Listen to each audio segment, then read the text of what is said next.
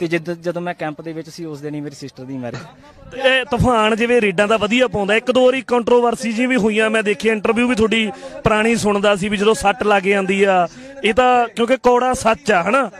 ਤੇ ਉਹਦੇ ਬਾਰੇ ਵੀ ਦੱਸੋ ਤੇ ਇੱਕ ਯੂਰਪ ਦੇ ਵਿੱਚ ਵੀ ਇੱਕ ਵੀਡੀਓ ਵਾਇਰਲ ਹੋਈ ਸੀ ਤੁਹਾਡੇ ਜਿਹੜੇ ਮੁਕੱਦਲ ਉਹਦਾ ਕੀ ਮਤਲਬ ਸੀਗਾ?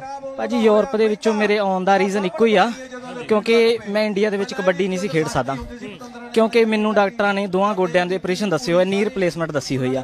ਇੱਥੇ ਮੈਂ ਕਦੀ ਕਦਾਂ ਹੀ ਖੇਡ ਸਕਦਾ, ਪਰ ਇੰਡੀਆ ਮੇਰੇ ਲਈ ਖੇਡਣਾ ਬਹੁਤ ਔਖਾ ਸੀ। ਮੈਂ ਇਸੇ ਕਰਕੇ ਇੱਥੇ ਆਇਆ ਅਮਰੀਕਾ ਦੇ ਵਿੱਚ, ਕਿਉਂਕਿ ਮੇਰੇ ਲਈ ਇੰਡੀਆ ਖੇਡਣਾ ਬਹੁਤ ਔਖਾ ਸੀ। ਮੈਂ ਖੇਡ ਨਹੀਂ ਸਕਦਾ ਸੀ ਹੁਣ, ਕਿਉਂਕਿ ਮੈਨੂੰ ਡਾਕਟਰਾਂ ਨੇ ਵੀ ਜਵਾਬ ਦਿੱਤਾ ਹੋਇਆ ਖੇਡਣ ਤੋਂ। ਪਰ ਇੱਥੇ ਇਹ ਆ ਵੀ ਜਿੱਦਾਂ ਮਹੀਨੇ ਦੇ ਵਿੱਚ ਇੱਕ ਦੋ ਮੈਚ ਹੁੰਦੇ ਆ ਉਹ ਖੇਡ ਸਕਦੇ ਕੰਮ ਵੀ ਕਰ ਸਕਦੇ ਪੈਸੇ ਵੀ ਕਮਾ ਸਕਦੇ ਆ। ਜਾਂ ਇੰਨਾ ਭਾਜੀ ਫ਼ਰਕ ਆ ਇੱਥੇ ਦੇ ਉੱਥੇ ਵਿੱਚ ਪਰਿਵਾਰ ਕਿਵੇਂ ਕਹਿੰਦਾ ਖੁਸ਼ ਆ ਪਰਿਵਾਰ ਕਿਉਂਕਿ ਮਨ ਦੇ ਵਿੱਚ ਹੁੰਦਾ ਵੀ ਮੁੰਡਾ ਸਾਡਾ ਇੰਗਲੈਂਡ ਚਲ ਜੇ। ਗਾਂ ਹੁਣ ਅਮਰੀਕਾ ਤਾਂ ਦੁਨੀਆ ਦਾ ਐਂਡ ਆ ਹਨਾ ਵੱਡਾ ਮੁਲਕ ਆ। ਤੇ ਕੀ ਕਹਿੰਦਾ ਹੁਣ ਪਰਿਵਾਰ ਕੀ ਸਪੋਰਟ ਕਰਦਾ?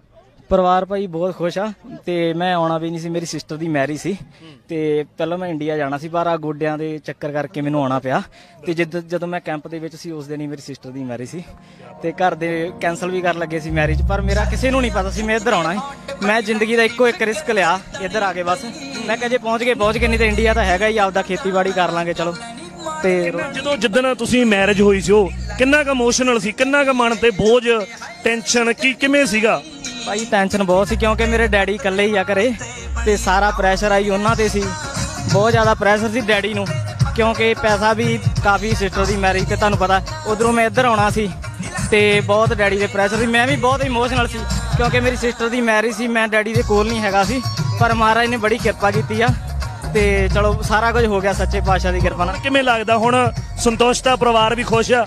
ਪਰਿਵਾਰ ਵੀ ਖੁਸ਼ ਆ ਬਸ ਮਿਹਨਤ ਕਰੀ ਜਾਂਦੇ ਆ। ਹੁਣ ਘਰ ਦੇ ਹਾਲਾਤ ਬਦਲ ਦਾਂਗੇ ਭਾਜੀ। ਹੁਣ ਲੱਗਦਾ ਪਟਾਕੇ ਦੇਖਣ ਨੂੰ ਮਿਲਣਗੇ ਆਉਣ ਵਾਲੇ ਟੂਰਨਾਮੈਂਟ ਦੇ। ਬਸ ਮਿਹਨਤ ਲਾ ਲਈਏ ਇੱਕ ਨਾ ਠੋਕ। ਕੇ ਹਜੇ ਮਿਹਨਤ ਪ੍ਰੋਪਰ ਲੱਗੀ ਨਹੀਂ ਆ।